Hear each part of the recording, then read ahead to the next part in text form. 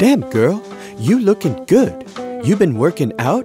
I was, but I'm not allowed to go back to my gym. Really? Why? I clogged the toilet.